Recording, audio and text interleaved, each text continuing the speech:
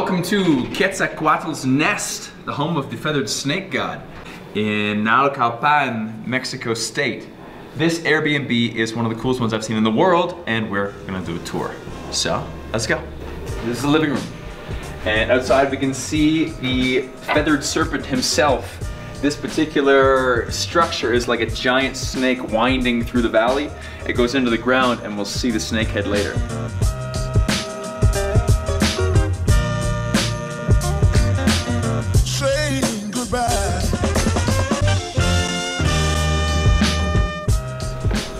We've got the kitchen.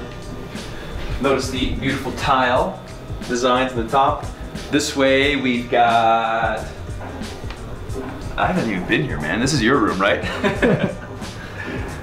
Did you guys sleep in here last night? No, that's not our It's a bed. bed. It's like the kids' room. It's a bed in the bathroom. Yeah, and there's like a there's like a bed under the bed. All right, bedroom number one sleeps two small children.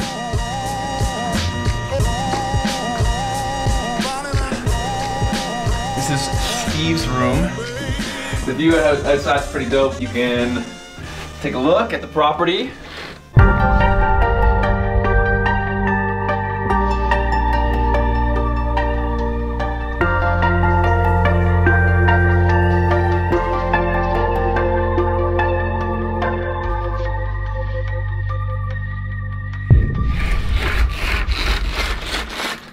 And the window shades are kind of shaped like goldfish crackers. We've got a bedroom here, bunk beds. Also, good spot to hold all your camera gear. This way we've got, this is your room here, ah, fold out couch. Da, da, da, da. So it sleeps two, four, six, eight in here, and ten, is it ten? Ten total if you add the, the couch. That's the couch, all right. Nine with the nine without the couch. So the bathrooms are pretty sick. A what is it called? Rain rainfall shower, waterfall shower, and the windows go out into the jungle. They spin open like this.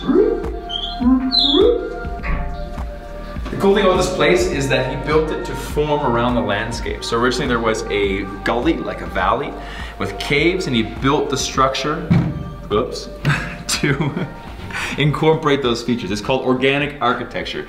This is the master bedroom. This is Steve being sexy over in the corner. That's like the love seat, man. Paint me like one of your French girls. but if you look, you can you can you can see out the window. It's a great it's a great spot to relax with your wife, your girlfriend, or just be by yourself forever alone like Steve. What do you wish you for? There is enough closets for the entire family. I don't know why. And we have shower number two. So we're pretty sure that it sleeps around 10 people. And the highlight of this place is definitely what you can see outside. So let's get back outside.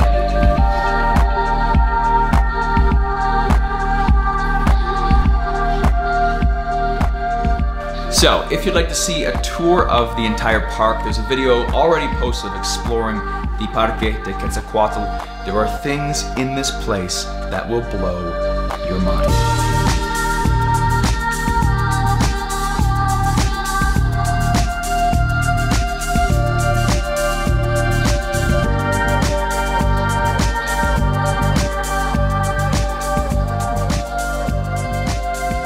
Unfortunately, the park is not yet open to the public, but that's not saying you can't get in.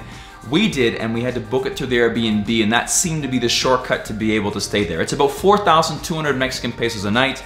That's 300 Canadian dollars, that's 250 American dollars. And sometimes, depending on what time of year it is, there's a two night minimum. But you get friends together, you split the cost, and you have that park almost all to yourself. Big ups to my buddy Brendan van Son for filming this MTV crib style video with me. Big ups to Steve. Big ups to Jody. We were traveling together and had such an epic time in the nest. Experience over possessions, kick the grind. If you want to see more of the park and learn more about its history and its secrets, make sure to watch the other video.